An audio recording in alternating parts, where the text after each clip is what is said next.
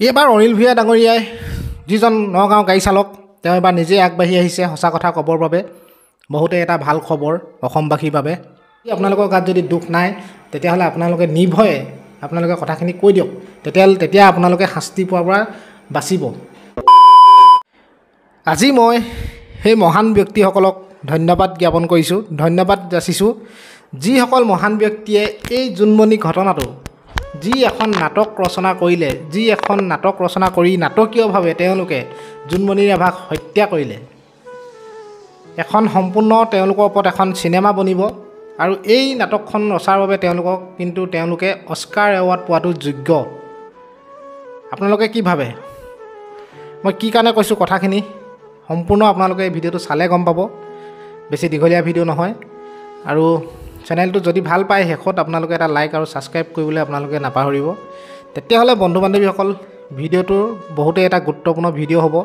গতিকে আপোনালোকে ভিডিঅ'টো অকণমান সময় চাই গুচি নাযাব। মই এটা ৰিকুৱেষ্ট তেতিয়াহ'লে আৰম্ভ কৰা যাওক ভিডিঅ'টো। চাওক বন্ধু বান্ধৱীসকল মই এই কাৰণেই কৈছোঁ যে জোনমণি ৰাভাৰ হত্যাকাণ্ডৰ যি প্লেন তেওঁলোকে যি আগতেই জোনমণিক হত্যা নকৰা আগতেই তেওঁলোকে এটা লগ লাগি তেওঁলোকৰ যিখিনি মানুহ তাত জড়িত আছে অপৰাধী তেওঁলোকে ধুনীয়াকৈ এডোখৰ জেগাত বহি তেওঁলোকে নাটক ৰচনা কৰিছিলে। যিহেতু জোনমণি ৰাভাই তেওঁলোকৰ কথা নামানিছিলে জোনমণি ৰাভাই তেওঁলোকৰ লগত মিলি কামো নকৰিছিলে ন্যায়ৰ পক্ষত জোনমণি ৰাভা থিয় দিছিলে আৰু সেইবাবেই জোনমণি ৰাভাক ভাবিলে যে নহয় এই ৰাস্তাৰ পৰা জোনমণি ৰাভাক আমি আঁতৰাই পেলাবই লাগিব। তেওঁক ইয়াৰ পৰা আঁতৰাই পেলোৱাটো আঁতৰাই পেলোৱাই কিন্তু একেবাৰে আঁতৰাই পেলালে। এগৰাকী মাতৃ বুকুৰ পৰা জোনমণিক নিথৰুৱা কৰি পেলালে। তেওঁলোকৰ অকণো বেয়া নালাগিল দয়া নপজিল। কেৱল পইচাৰ কাৰণেই তেওঁলোকে জোনমণিক জোনমণি ৰাভাৰ নিচিনা এগৰাকী সৎ সাহসী আৰক্ষী বিষয়াক এগৰাকী মাতৃ বুকুৰ পৰা তেওঁলোকে অতি নিষ্ঠুৰভাৱে কাঢ়ি লৈ আঁতৰাই লৈ গুচি গ'ল। আৰু যি বাটেৰে জোনমণি ৰাভা গুচি গ'ল আৰু সেই বাটেৰে জোনমণি ৰাভাৰ কেতিয়াও নাহে। মাথো মাকৈ মাক ককায়েক আমি অসমবাসী ৰাইজ মাথো আমি অপেক্ষাত আছোঁ যে জোনমণি ৰাভাৰ অপৰাধীসকলে শাস্তি পাওক ন্যায় পাওক আৰু সেইবাবে আজি চাৰি পাঁচ মাহ ধৰি আমি সকলোৱে যুঁজি আছোঁ। আজি জোনমণি ৰাভাৰ ভিডিঅ' এটা দিয়াৰ লগে লগে আপোনালোকে যি ধৰণে এটা হেঁপাহেৰে ভিডিঅ'টো চায় তাতেই গম পোৱা যায় যে আপোনালোকে জোনমণি ৰাভাৰ ন্যায়ৰ বাবে কিমান আপোনালোকে আশা কৰি আছে। সেই অপৰাধীসকলে শাস্তি পাবৰ বাবে আপোনালোকে কিমান গভীৰ আশাৰে বাট চাই আছে। আজি যিসকলে জোনমণিক লগ লাগি যিসকল অপৰাধীয়ে নীলাদলেই হওক ৰাভাজ্যোতি ৰাভা হওক মনোজ ৰাজবংশী হওক সুমিত পাল হওক যিসকল যিমানখিনি মানুহ তাত অপৰাধী জড়িত আছে তেওঁলোকে কিন্তু এবাৰো ভাবি নাচালেনে যে জোনমণি ৰাভাক মৰাতকৈ যদি জোনমণি ৰাভাক যদি চাকৰি ইয়াৰ পৰা যদি বদলি কৰা যায় তেতিয়া কেনে হ'ব? তেওঁলোকে কিন্তু এইবিলাক আগ পিছ নুগুচি নাভা নামানি তেওঁলোকে নাভাবি তেওঁলোকে জোনমণি ৰাভাক মাৰি পেলালে। আজি অনিল ভূঞা ডাঙৰীয়াৰ কথা কৈছোঁ মনোজ ৰাজবংশীৰ কথা কৈছোঁ যিসকল নীলাদলে তলত কাম কৰিছিলে যিসকলে নীলাদলে তলত কাম কৰিছিলে যিসকলে যিজন মেইন মাষ্টাৰ মাইণ্ড তেওঁৰ তলত কাম কৰিছিলে যিসকল আছে সৰু সুৰা যিখিনি সেনাপতি সেইসকলে কি কাৰণে আগবাঢ়ি অহা নাই আজি পৰ্যন্ত আজি পাঁচ মাহ হৈ গ'ল তেওঁলোকে আগবাঢ়ি আহি কি কাৰণে তেওঁলোকে কৈ দিয়া নাই যে কোনে তেওঁলোকক পাৰ্মিশ্যন দিছিলে যিজনেই জানে সত্য কথাটো যিজনেই লুকুৱাই ৰাখিছে বৰ্তমান সময়ত যে তেওঁ যদি ভাবিছে যে নহয় মোৰ গাত চেকা নাই মোক অৰ্ডাৰ দিছিলে মোক নিৰ্দেশ দিয়াৰ কাৰণেহে মই এই কাণ্ডটো কৰিবলৈ আগবাঢ়িছিলোঁ। গতিকে যিসকল তেনেকুৱা ধৰণৰ লিংক থকা হত্যাকাণ্ডৰ লগত যিসকলে জানে ঘটনাটো যে এইটো হৈছিলে গতিকে আপোনালোকে আগবাঢ়ি আহক আগবাঢ়ি আহি জোনমণি ন্যায় দিয়ক কাৰণ পাঁচ মাহ হৈ গ'ল আমি সকলোৱে জানো কোন কোন তাত জড়িত আছে। গতিকে লুকুৱাব আৰু চেষ্টা নকৰিব। কাৰণ যদি আপোনালোকে আহি যদি আগতীয়াকৈ কৈ দিয়ে তেতিয়াহ'লে হয়তো আপোনালোকে অন্তত জেলৰ পৰা জেলৰ ভাত খাবলগীয়া হয়তো নহ'ব পাৰে। গ্ৰেপ্তাৰ হয়তো নহ'ব হ'বলগীয়া নহ'ব পাৰে। আপোনালোকে বাচি যোৱা এটা সৰু হ'লেও চান্স আছে। মানৱতাৰ খাতিৰত আপোনালোকে এইবিলাক আপোনালোকে এবাৰ ভাবি চাওক আৰু জোনমণি ৰাভাৰ কাৰণে মাত মাতক। যিসকল তাত আছে যিসকলক সেই মাষ্টাৰ মাইণ্ডজনে যিজনে আপোন অৰ্ডাৰ দিছিলে যে নীলা জোনমণি ৰাভাক কেনেকৈ হত্যা কৰিব লাগিব কি কৰা হৈছিলে সেইসকল মানুহ কথা কৈছোঁ যিসকল সৰু হোৱা। তেওঁলোকে আগবাঢ়ি আহি যদি আগতীয়াকৈ আহি যদি চাইণ্ডাৰ কৰি যদি কথাখিনি কৈ দিয়েহি তেতিয়াহ'লে আপোনালোকে বহুতখিনি ৰেহাই পাব। শাস্তি পোৱাৰ পৰা আপোনালোকে বাচিব।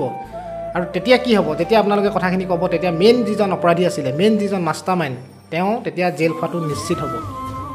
গতিকে আপোনালোকে এতিয়াও বহুত সময় আছে যিসকলে এতিয়াও মনে মনে অনুশোচনাত ভুগি আছে যিসকলে ভাবি আছে যিজন মই মেইন এজনৰ কথাই উল্লেখ কৰিছোঁ ইয়াত অনিল ভূঞা ডাঙৰীয়া। আপুনিতো চাগে হয়তো ভাবিছিলে যে এজনী মোৰ জীয়েকৰ লগৰ বয়সৰ ছোৱালী মোৰ নিজৰ ল'ৰা হোৱাহেঁতেনো আপোনাৰ এজন পুত্ৰ বয়সৰ হ'লহেঁতেন গতিকে আপুনি হয়তো ভাবিছে আপোনাৰতো নাতি নাতিনী নাতি নাতিনী মুখ দেখিছে আপুনি আপুনি ভাবিছে যে নহয় মই যিখিনি কথা কৈছিলোঁ তে আপুনি দুখত দুখ লাগিছিলে আপোনাৰ সেই সময়ত। আমি জানো জোনমণি ৰাভাৰ প্ৰতি আপোনাৰ যেনে হ'লেও অকণমান দয়া মমতা বোলা বস্তুটো সোমাই আছিলে। যেনেকৈ হওক আপোনাক বহুত ভাল পাইছিলে জোনমণি ৰাভাই। গতিকে আপুনি সেইখিনি অনুচনাত ভুগিছিলে আৰু সেইবাবে আপুনি নহয় মদ খাই আপোনাৰ নিচাত ভাবিলে নহয় মই কথাখিনি কওঁ যিহেতু মই গম পাইছিলোঁ। আৰু সেইবাবে আপুনি ফোন কৰি এজন সংবাদদাতাক আপুনি কথাখিনি জনাইছিলে।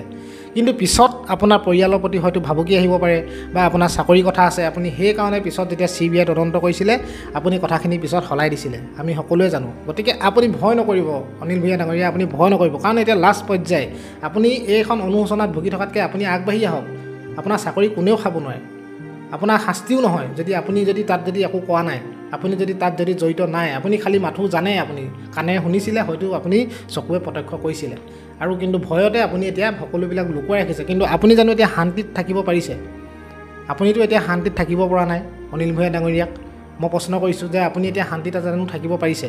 এজনী ছোৱালীক মাতৃ বুকুৰ পৰা লৈ যোৱা হ'ল।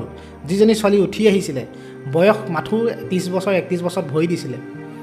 সেই ছোৱালীজনীক লৈ যোৱাৰ পিছৰ পৰা কিন্তু আপুনি এসাঁজো চাগে ভাত আজিলৈকে ভাল ধৰণে খাব পৰা নাই বুলি আমাৰ এটা বিশ্বাস আছে। আমাৰ অসমবাসী ৰাইজেও জানে আপুনি যে মিছা কথা কোৱা নাছিলে।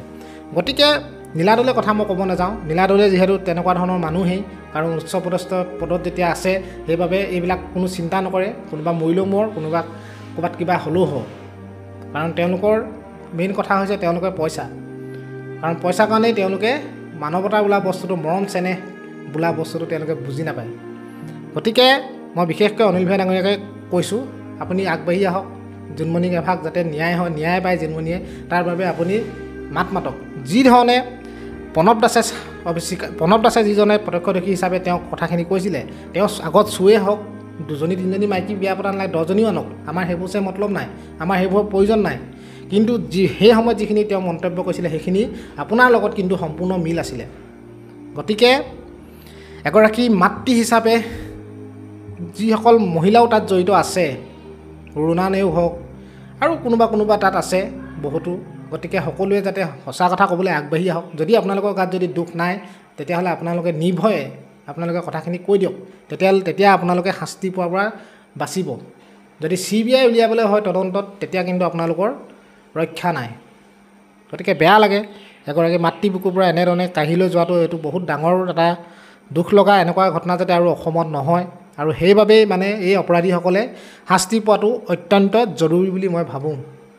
আকৌ যাতে এনেকুৱা ধৰণৰ ঘটনা আমাৰ অসমত দ্বিতীয়বাৰ নহয়।